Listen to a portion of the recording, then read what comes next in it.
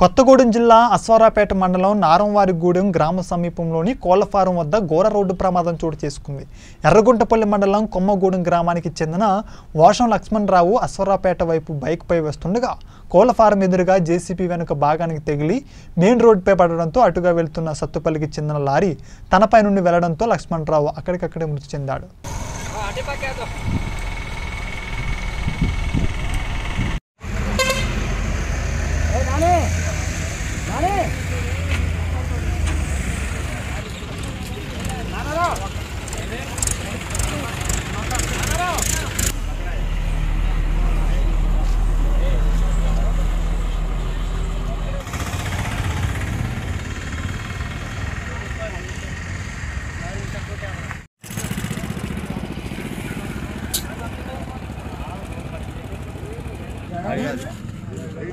అక్కడ ఇగో క్లియర్ గీతలు కనపడతా